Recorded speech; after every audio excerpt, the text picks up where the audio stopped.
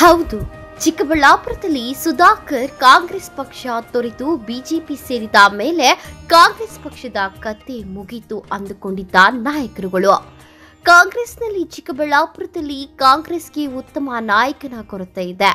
ಎನ್ನುತ್ತಿದ್ದ ವಿರೋಧಿ ಪಕ್ಷದ ನಾಯಕರುಗಳಿಗೆ ಇಂದು ನಡೆದ ಕಾಂಗ್ರೆಸ್ ಅಭ್ಯರ್ಥಿ ಪ್ರದೀಪ್ ಈಶ್ವರ್ ನಾಮಪತ್ರ ಸಲ್ಲಿಕೆ ವೇಳೆ ಸೇರಿದ್ದ ಜನರನ್ನು ನೋಡಿ ನಿಬ್ಬೆರಗಾಗುವಂತೆ ಮಾಡಿದೆ.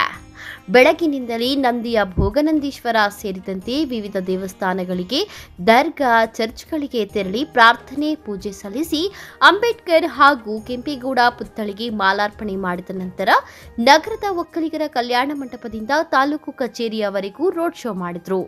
ಈ ಮೂಲಕ ಬಂದಿದ್ದ ಸಹಸ್ರಾರು ಜನರನ್ನು ನೋಡಿ ಖುಷಿಯಿಂದ ಕೈ ಬೀಸುತ್ತಾ ನಮಸ್ಕರಿಸಿದ್ರು. ಇನ್ನು ರೋಡ್ ಶೋ ವೇಳೆ ಜನ ಬೆಂಬಲ ನೋಡಿ ಸಂಭ್ರಮಿಸಿದ್ರು.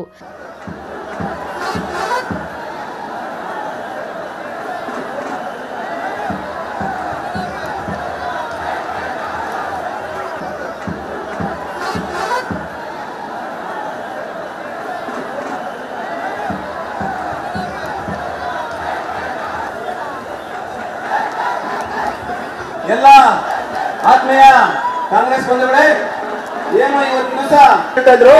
ಅಂತ ಒಳ್ಳೆ ಇವತ್ತು ನಮ್ಮ ಪ್ರದೀಪ್ ಈಶ್ವರ್ ಅವರು ಇಲ್ಲಿದ್ದಾರೆ ಚಿಂತೆ ಚಿಂತೆ ಏನಿದೆ ಪ್ರದೀಪ್ ಈಶ್ವರ್ ಒಬ್ಬ ಸಾಮಾನ್ಯ ಜ್ಞಾನ ಅಲ್ಲ ನಿಜವಾಗ್ಲೂ ಚಿಂತೆ ಬರೀತಾರೆ ಈಗ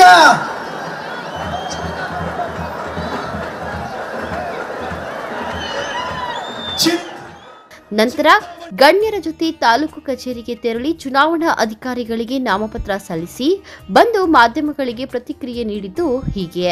ಅವರಿದ್ದಾರೆ ನಮ್ಮ ನಾರಾಯಣ ಸೋಮಣ್ಣವ್ರು ಇದ್ದಾರೆ ನಮ್ಮ ರಮೇಶ್ ಅಣ್ಣ ಅವರು ನಮ್ಮ ನಾರಾಯಣ ಸೋಮಣ್ಣವ್ರು ಇದ್ದಾರೆ ಶ್ಯಾಮ್ ಸರು ಅಷ್ಟೇ. ನಾಳೆ ನಾಳಿದ್ದಿಂದ ಜಾಯಿನ್ ಆಗ್ತಾರೆ. ಅವರು ನಿನ್ನೆ ಮೀಟಿಂಗಲ್ಲಿ ನೀವೇ ನೋಡಿದ್ರಿ ನಾನು ಪಕ್ಷಕ್ಕೆ ನಿಷ್ಠೆಯಿಂದ ಇರ್ತೀನಿ ಅಂತ. ಅವರು ನಮ್ಮ ಜೊತೆ ಇದ್ದಾರೆ ಸರ್.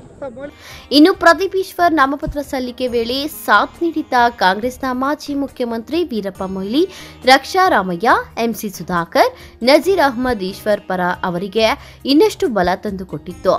ಒಬ್ಬ ಬಲಿಷ್ಠವಂತ, ನಿಷ್ಠಾವಂತ, ಅತ್ಯಂತ ಪ್ರಾಮಾಣಿಕತೆ, ನಂಬಿಕೆ ಇರುವಂತಹ ಅಭ್ಯರ್ಥಿ ನಮಗೆ ಸಿಕ್ಕಿರುವುದರಿಂದ ಉತ್ಸಾಹ ತಂದಿದೆ. ಖಂಡಿತವಾಗಿ ಪ್ರದೀಪ್ ಈಶ್ವರ್ ಈ ಬಾರಿ ಗೆದ್ದೆ ಗೆಲ್ಲುತ್ತಾರೆ ಎಂದು ಮಾಜಿ ಸಿಎಂ ವೀರಪ್ಪ ಮೊಯ್ಲಿ ಸಂತಸ ವ್ಯಕ್ತಪಡಿಸಿದರು. ನಾವು ಜಾತಿ ಕಟ್ಟಿಕೊಂಡು ಹೋಗ್ತಾ ಇಲ್ಲ. ಸತ್ಯ ಅಹಿಂಸೆ ಮತ್ತು ನ್ಯಾಯ ಪ್ರಾಮಾಣಿಕತೆ. ಇದೇ ನಮ್ಮ ಸಿದ್ಧಾಂತ ಕಾಂಗ್ರೆಸ್ ಇದ್ದು ಆ ಸಿದ್ಧಾಂತವನ್ನು ನಂಬಿಕೊಂಡೇ ಜಗದೀಶ್ ಶೆಟ್ಟರ್ ಬಂದಿದ್ದಾರೆ ಸೌದಿಯವರು ಬಂದಿದ್ದಾರೆ ಮತ್ತು ಅನೇಕ ಮುಖಂಡರು ಕೂಡ ಆ ಕಡೆಯಿಂದ ಈ ಕಡೆ ಬಂದಿದ್ದಾರೆ. ಅವರಿಗೆ ವಿಶ್ವಾಸ ಇದೆ. ಯಾಕಂದರೆ ಇದು ಮಹಾತ್ಮ ಗಾಂಧಿಯವರ ಪಕ್ಷ ಇಂದಿರಾ ಗಾಂಧಿಯವರ ಪಕ್ಷ ಸೋನಿಯಾ ಗಾಂಧಿಯವರ ಪಕ್ಷ ಖಾರ್ಗೆಯವರ ಪಕ್ಷ. ಇಲ್ಲಿ ಸಮಾಜ ಸಾಮಾಜಿಕ ನ್ಯಾಯಕ್ಕೆ ಪ್ರಾಮುಖ್ಯತೆ ಸಾಮಾಜಿಕ ನ್ಯಾಯ ಸಿಗಬೇಕಾದ್ರೆ ಸತ್ಯ, ನ್ಯಾಯ ಅಲ್ಲಿ ಇರಬೇಕು ಇಲ್ಲಿ ಬರುವ ಪ್ರಶ್ನೆ ಅಲ್ಲ, ನಾವೆಲ್ಲ ಬರ್ತೀವಿ. ನಾವೆಲ್ಲ ಇಡೀ ರಾಜ್ಯ ಪ್ರ- ಪ್ರವಾಸ ಮಾಡ್ತೇವೆ. ಮುಖಂಡರು ಸಾಕಷ್ಟು ಇದ್ದಾರೆ. ಬಸವರಾಜ ಬೊಮ್ಮಾಯಿ ಅಂತ ಒಬ್ಬ ಮುಖಂಡ ಅಂತೇಳಿ ಅವ್ರು ಪರಿಗಣಿಸಿದ್ದಾರೆ. ಮುಖಂಡ ಅಲ್ಲ ಅವರು. ಅಂಥ ಒಂದು ನೂರು ಮುಖಂಡರು ಅಂತ ಅದಕ್ಕಿಂತಲೂ ಪ್ರಬಲವಾದಂಥ, ಬಲಿಷ್ಠವಾದಂಥ ನೂರು ಮುಖಂಡರು ಇದ್ದಾರೆ. ಸಿದ್ದರಾ ಇವ ನಮ್ಮ ಯಡಿ ಯಡಿಯೂರಪ್ಪನವರು ಮುಖಂಡರು ಅಂತೇಳಿ ಹೇಳ್ತಾರೆ. ಬಹುಶಃ ಕರ್ನಾಟಕದ ಇತಿಹಾಸದಲ್ಲಿ ಜೈಲಿಗೆ ಹೋದಂಥ ಮುಖ್ಯಮಂತ್ರಿಗಳ ಒಂದು ಇತಿಹಾಸ ಸ್ಥಾಪನೆ ಮಾಡಿದರೆ ಅದು ಯಡಿಯೂರಪ್ಪನವರು.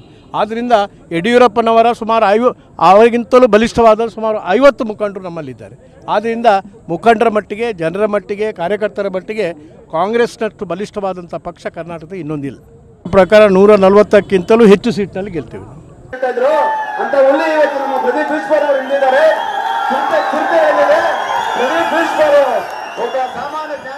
ಒಟ್ಟಾರೆ ಕಾಂಗ್ರೆಸ್ ಅಭ್ಯರ್ಥಿ ಪ್ರದೀಪ್ ಈಶ್ವರ್ ಶಕ್ತಿ ಪ್ರದರ್ಶನದ ವೇಳೆ ಜನ ಬೆಂಬಲದ ಸುನಾಮಿ ನೋಡಿ ವಿರೋಧ ಪಕ್ಷಗಳಿಗೆ ನಡಕ ಉಂಟಾಗಿದೆ. ಆದರೆ ಮತದಾರರ ಒಲವು ಮಾತ್ರ ಯಾರ ಕಡೆ ಇರಲಿದೆ ಎಂಬುದು ಫಲಿತಾಂಶದ ನಂತರ ತಿಳಿದು ಬರಲಿದೆ. Arun Kumar, MM TV news, Chikkaballapur.